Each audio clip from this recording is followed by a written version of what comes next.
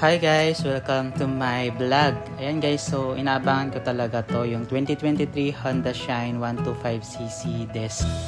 So ito yung pinakamaganda para sa akin guys na pang tricycle, saka mas matipid siya guys kasi FI na siya and tubeless tire. So kumbaga guys, mas ito yung gusto ko yung mag niya.